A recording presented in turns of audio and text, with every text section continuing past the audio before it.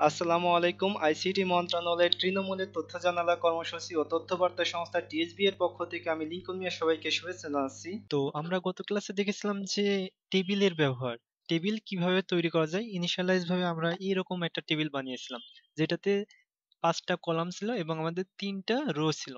ওকে তো আমরা এরকম করব। তো দেখেন আমরা কি, সাধারণত ফার্স্টের লাইন যেটা থাকে সেটা কিন্তু হেডিং বোঝায়, তাই না? হেডিংটা মূলত কীরকম থাকে? আমাদের একটু বড় হয়ে থাকে বোল্ড মতো হয়ে থাকে, তাই না? তো এই কাজটা করতে হলে কি করতে হবে? আমাদের হেডিং দিতে হবে। তো তাহলে আহ আমরা কোডে যাই, তাহলে ভালো বুঝতে পারব। তো এই দেখেন, এটা আমাদের কি? ফার্স্ট রো তার মানে এর মধ্যে যা আছে সেটা কিন্তু আমাদের ফার্স্ট রোতে দেখাচ্ছে। আচ্ছা আমরা এটা বোঝার জন্য একটা কাজ করি যাতে আপনারা সব বুঝতে পারি। এটার পরে একটা টু দিয়ে দিলাম। এবং এটার পর আমরা থ্রি দিয়ে দেই। তাহলে বুঝতে পারব কোনটা কোন রো এর কাজ। তো এখন যদি আমরা রিলোড করি, তাহলে দেখেন রিলোড করলাম।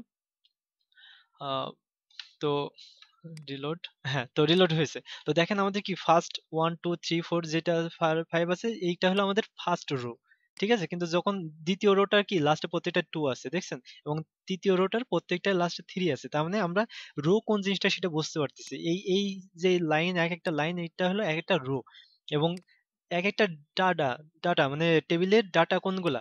এই যে এইগুলো হলো একটা টেবিলের ডাটা, তাই না? মানে এটা হলো কলামের মতো ইউজ হচ্ছে। ওকে তো আমরা চাই কি? যে আমরা ফার্স্ট এর রোতে যেগুলো থাকবে এগুলো প্রত্যেকটা আমরা মোটা করে দেখাবো মানে হেডিং মতো হিসাবে দেখাবো, তাই না? তো এই কাজটা করতে হলে কি করতে হবে? আমরা যেখানে টেবিল ডাটা নিয়েছি মানে টিডি নিয়েছি, সেটার পরিবর্তে আমরা টেবিল হেডিং নেব মানে টি এইচ নিব। তো দেখেন আমরা প্রত্যেকটাতে কি? টিডি আছে, তাই না? তো এই টিডির পরিবর্তে আমরা টিএইচ নিব। তো আমি কাজের সুবিধার্থে প্রত্যেকটা মাল্টি সিলেক্ট করতেছি। মাল্টি সিলেক্ট বলতে এইখানে একটা সিলেক্ট করেছি, এবার কন্ট্রোল সেপে আবার আমি এখানে আবার ক্লিক করতেছি। প্রত্যেকটাতে কন্ট্রোল সেপে সেপে ক্লিক করতে তাহলে আমার প্রত্যেকটা জায়গায় আমার ক্লিক হয়ে গেল, তাই না? তো এই ডিলিট করে দিলাম এবং টিএইচ দিয়ে দিলাম। তো তাহলে দেখেন আমার প্রত্যেকটাতে টি এইচ হয়ে গেছে। ঠিক একইভাবে আবার এখানে কি করব? টি ডি এর পরিবর্তে টি এইচ দিয়ে দেবো। তাহলে কি করলাম? দেখেন আমরা টেবিল রো এর মধ্যে টেবিল হেডিং নিলাম। তো এইটাকে এখন সেভ করি। এবং এইটাতে এবার কি করব? আমরা রিলোড করব। তো রিলোড করার সাথে সাথে দেখতে পাচ্ছি কি, দেখেন আমাদের এটা কি, আমাদের বোল্ড হয়ে গেছে এবং এটা কিন্তু আমাদের মাঝখানে চলে আসছে। তো মাঝখানে আসছে কিনা এটা আমরা এখন ভালোভাবে বুঝতে পারতেছি না। এটা এখন বুঝতে পারব কি, যদি একটু বড় করি, যদি এর ওয়াইডটা যদি একটু বড় করে দিই, তাহলে আমরা বুঝতে পারব যে এটা আসলে আমাদের মাঝখানে আছে। তো এই যে আমি এখন ওয়াইডটা বাড়াবো, এইটা কীভাবে বাড়াবো? এইটা বানানোর জন্য আমাদেরকে আলাদা একটা অ্যাট্রিবিউট ইউজ করতে হবে। যে অ্যাট্রিবিউটটার নাম হলো কি ওয়াইড তো তাহলে আমরা কি করব? টেবিলে একটা ওয়াইড দিব। যেটা ওয়াইডটা দিলে আমাদের ততটুকু বেড়ে যাবে। তো সাপোজ আমরা চাচ্ছি এটা আমরা পাঁচশো পিক্সেল পর্যন্ত দেখাবো, পাঁচশো পিক্সেল ওয়াইড হবে। তো তাহলে আমাদের কি করতে হবে? তাহলে যেটা করতে হবে, এই যে যে টেবিলটা একটা নিয়েছি, এটাতে আমাদের একটা অ্যাট্রিবিউট ইউজ করতে হবে। অ্যাট্রিবিউটটার নাম wide W I D T H তো ওয়াইড ইকুয়াল কত? এটা ওয়াইডটা দুই ভাবে দেওয়া যায়। একটা হলো পার্সেন্ট হিসাবে আর একটা পিক্সেল হিসাবে। তো আমরা ফার্স্টে পার্সেন্টটা দেখি, তারপরে পিক্সেল দেখি। তো তাহলে পার্সেন্ট সাপোজ আমরা চাচ্ছি একদম ফুল স্ক্রিন জুড়ে হবে মানে একশো পার্সেন্ট জুড়ে হবে। তাহলে কি করব আমরা? একশো পার্সেন্ট দিয়ে দিব। তো এইবার আমরা সেভ করলাম। তো এখন দেখি আমাদের রিলোড করে কি হয়। তো দেখেন আমাদের কি? আমাদের হান্ড্রেড পার্সেন্ট জুড়েই কিন্তু এটা দেখাচ্ছে। তো এবং এখন দেখেন এটা কিন্তু আমাদের মিডিল চলে আসছে, তাই না? সেন্টারে দেখাচ্ছে। ওকে ফাইন তো আমরা এখানে হান্ড্রেড পার্সেন্ট দিলাম। তো সাপোজ আমরা সেভেন্টি সিক্স পার্সেন্ট দিয়ে দেখি কাজ হয় কিনা।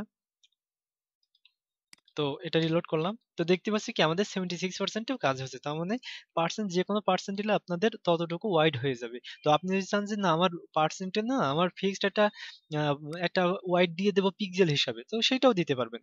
সাপোজ আমরা দিচ্ছি কত? যে চারশো ষাট পিক্সেল ঠিক আছে? চারশো ষাট পিএক্স লিখে দিলাম। তো তাহলে কি হবে আমাদের? ওয়াইডটা চারশো ষাট পিক্সেল পর্যন্ত ওয়াইড থাকবে। তো এটা আমরা এখন সেভ করি এবং এখানে কি করব? রিলোড করলাম। তো দেখতে পাচ্ছি কি আমাদের কিন্তু চারশো ষাট পিক্সেল পর্যন্ত এটা চলে আসছে।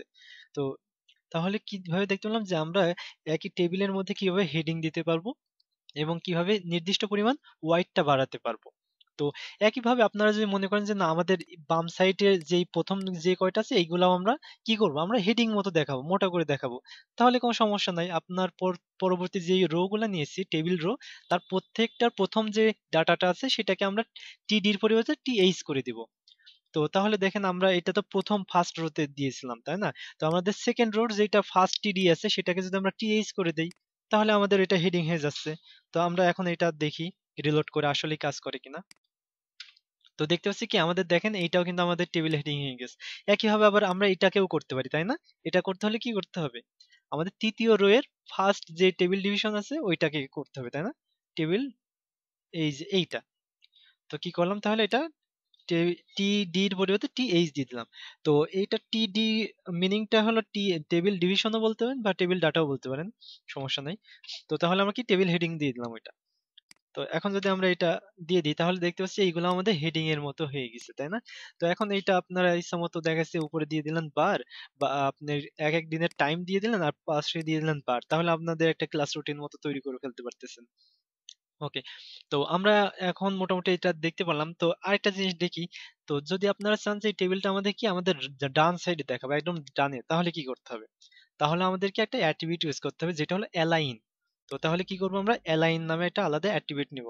এ এল আই জি এন তো অ্যালাইনটা কিন্তু আমার ফিক্সড ভ্যালু সেটা হলো তিনটা হতে পারে। একটা লেফট হতে পারে, একটা সেন্টার হতে পারে এবং একটা রাইট হতে পারে। তো আমরা চাচ্ছি কি আমাদের রাইটই দেখাবে। তো তাহলে কি করব? রাইট দিব। R I G H T right তো এখন এটা দেখি আমাদের আসলে কাজ করে কিনা। তো দেখতে পাচ্ছি কি আমাদের টেবিলটা সম্পূর্ণ ডানে সরে গেছে, তাই না? তার মানে কি কাজ হচ্ছে। তো একইভাবে আপনারা ইচ্ছা করলে আবার সেন্টারও রাখতে পারেন। আর লেফটও ডিফল্ট হয়ে লেফটে থাকে, ওইটা দেওয়ার প্রয়োজন নয়। তাহলে আমরা সেন্টারটা চেক করে দেখি কাজ করে কিনা। সিইএন টি ই আর সেন্টার। ওকে, তো এখন যদি আমরা এটা দিই এবং এটাতে যদি এখন রিফ্রেশ করি তো রিফ্রেশ করার সাথে দেখতে পাচ্ছি কি আমাদের এটা চলে আসছে, তাই না? মানে একদম সেন্টারে আছে। তো এই মোটামুটি হলো আমাদের টেবিলের কাজ। টেবিলের আরও অনেক কাজ আছে। তো আমি টেবিল নিয়ে বেশি একটা কাজ করি না, কারণ এইগুলা মানে আপনাদেরকেও বলব যে টেবিল যাতে যতটা কম ইউজ করে বাজে ততটাই ভালো, ঠিক আছে? কারণ টেবিলটা রেসপন্সিভের সময় আমাদের অনেক ঝামেলা করবে। এটা রেসপন্সিভ ঠিক মতো করা যায় না। আচ্ছা তো যাই হোক, তো আমরা এখন আরেকটা কাজ দেখি যে ফার্স্টে আমরা কিছুদিন আগে, কয়েকটা ক্লাস আগে দেখেছিলাম যে ইমেজ কীভাবে ব্যবহার করতে হয়, তাই না? তো ইমেজ ব্যবহারের আরও কিছু নিয়ম আছে, সেই জিনিসগুলো দেখব। তো তাহলে আমরা উপরেই করি, এইখানে কিছু ব্রেক দিয়ে দেই। ওকে তো এখন কি করব আমরা? ইমেজ ইউজ করব। তো ইমেজের ট্যাগ কি, মনে আছে?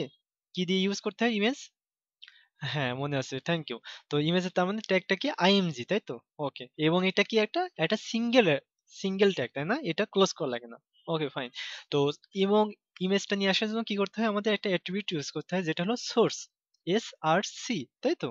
হ্যাঁ গুড আপনাদের সবই মনে আছে, দেখছি। তো তাহলে আমরা একটা ডামি একটা ফটো নিয়ে আসি, একটা ওয়েবসাইট থেকে।